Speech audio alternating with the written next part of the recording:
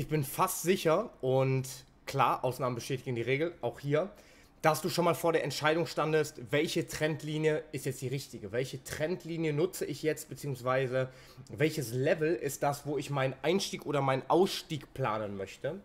Und dieses Video soll dir helfen, deinen gesamten Trading-Ansatz, es ist egal, welchen Ansatz du handelst, ob Volumen-Trading, Smart Money Concept, Price Action, ähm, mit Indikatoren, es ist komplett egal, weil diese, dieses Video Informationen enthält, die du mit extrem großer Wahrscheinlichkeit noch nicht gehört hast, weil die meisten Menschen gar nicht diese Information haben. Und wenn sie sie haben, ist die Wahrscheinlichkeit extrem groß, dass sie das nicht in ein kostenloses YouTube-Video verpacken.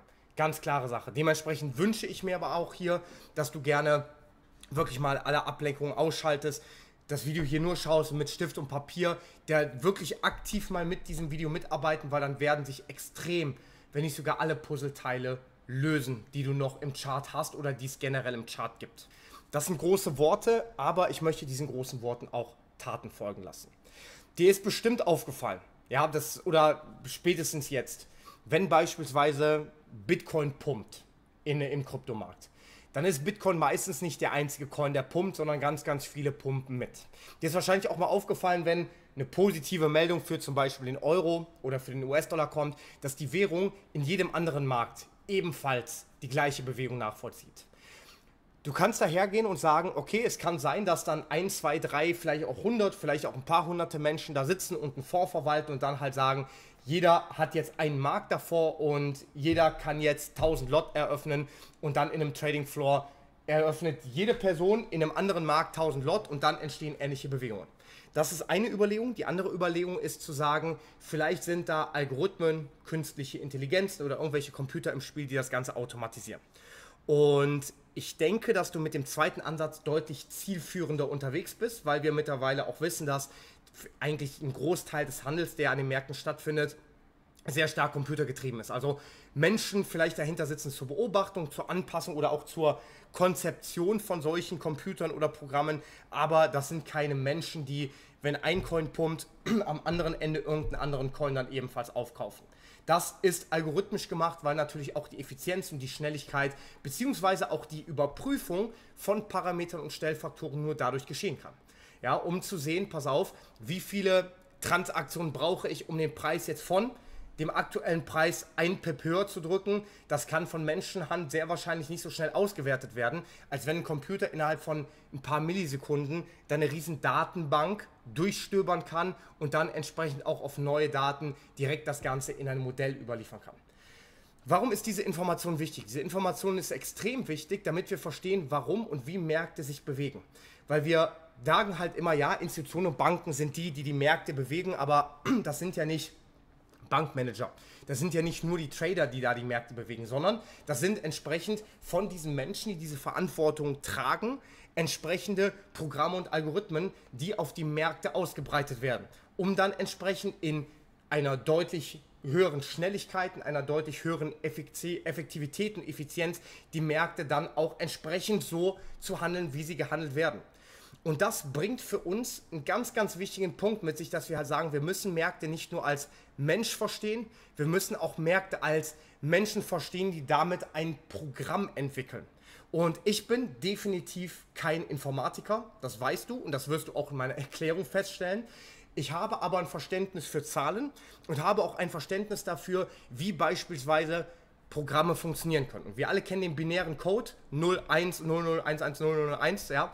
Wir alle kennen vielleicht auch Excel und für die, die schon mal ein bisschen mehr mit Excel gearbeitet haben, wissen auch, wie Excel funktioniert, nämlich Zellbezüge, absolute oder relative Zellbezüge, dann werden entsprechend Zahlen genutzt und dann gibt es verschiedene Funktionen und eine Funktion ist beispielsweise die Wenn-Dann-Funktion.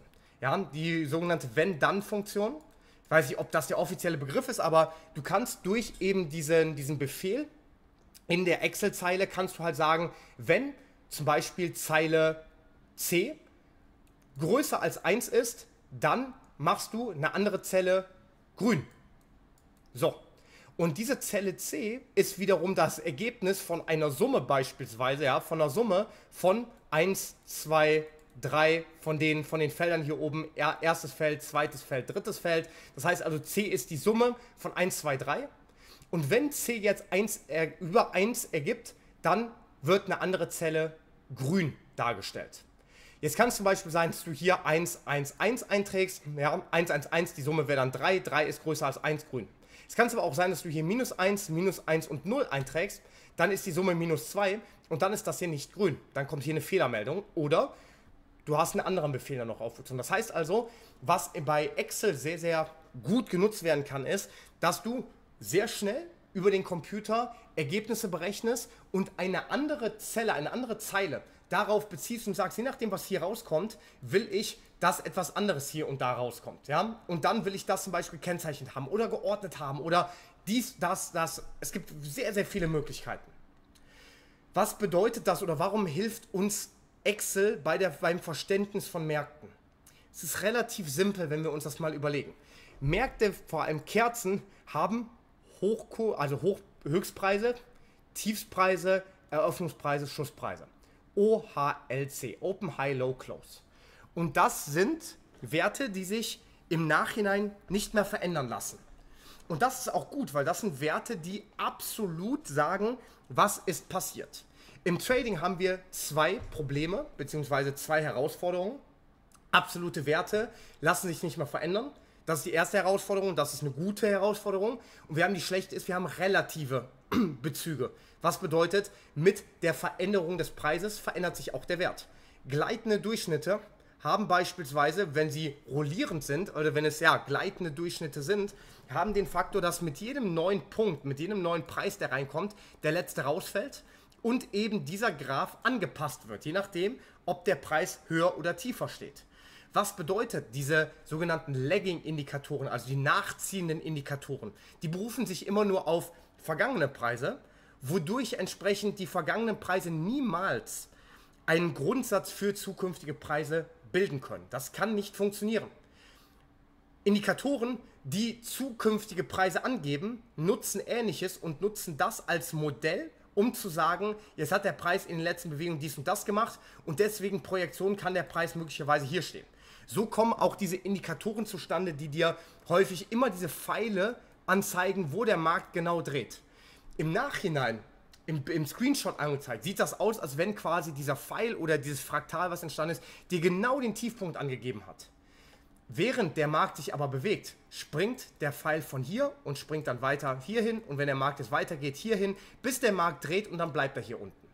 Und das ist ein Problem, was ganz, ganz viele Menschen ähm, eben auch erstmal schmerzlich feststellen mussten, weil sie dachten, sie haben endlich den Indikator gefunden.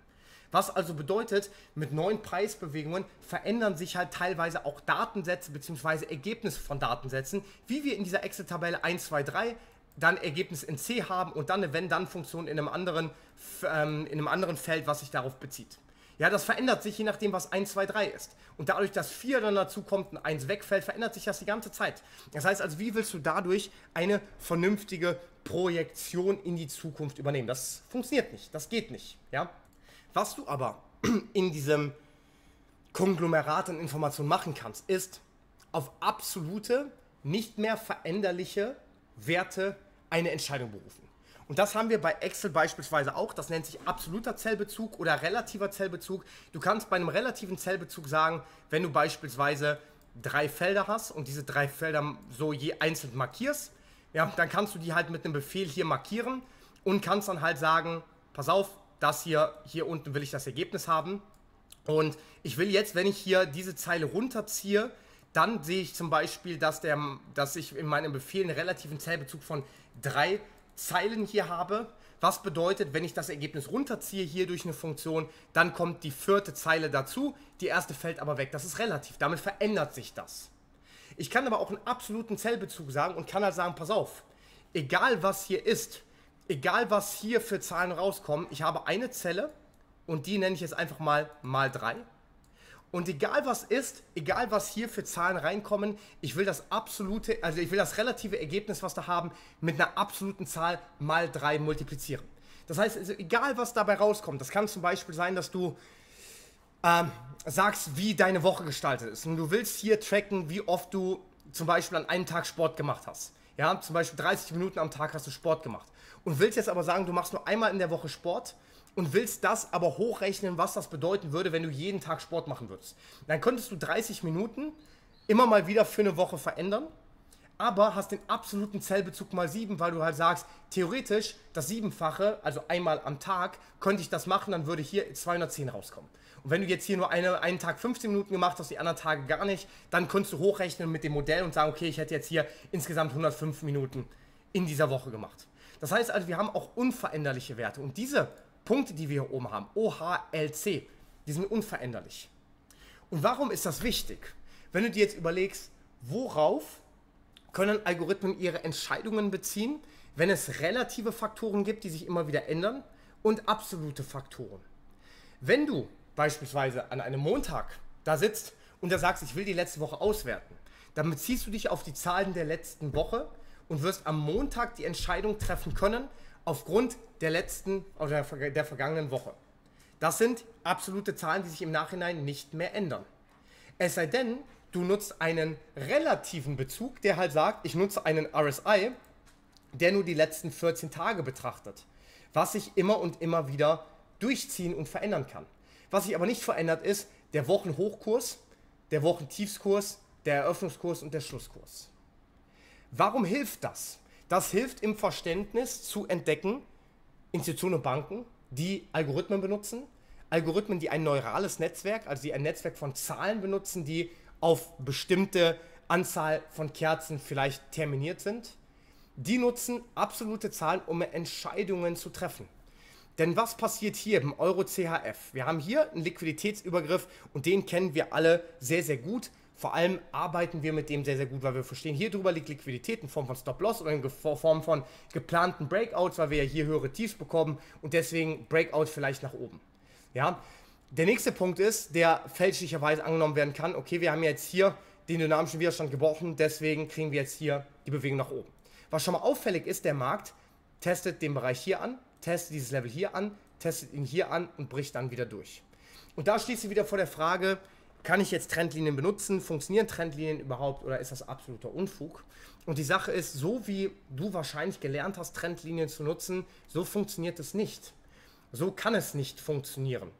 Und dementsprechend werden wir jetzt hier die Lösung erarbeiten. Und die Lösung liegt genau dort, was wir gerade eben einleitend schon besprochen haben, nämlich in der Darbietung der Zahlen, die nicht mehr veränderbar sind, die eingespeist werden können in einen Computer, wie eine Excel-Tabelle wo wir relative Faktoren betrachten, wie gleitende Durchschnitte oder auch ein RSI, der Zeitperioden betrachtet, aber halt auch ganz klar sagen, was bringt eine Zeitperiode, die von hier bis hier läuft, wenn ich aktuell in dieser Woche hier hänge.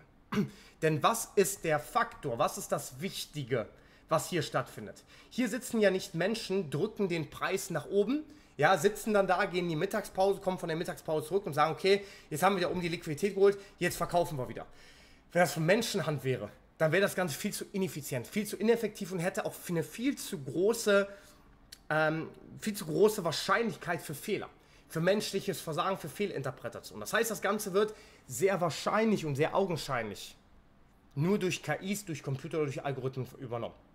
Was ist eine Funktion, die ein Algorithmus übernehmen kann? Und dafür springen wir mal kurz aufs Blackboard. Ich mache es dunkel, einfach für den besseren Kontrast, fürs bessere Erkennen. Jetzt haben wir hier eine rote Kerze und haben hier unten vielleicht den Schatten bis hier unten.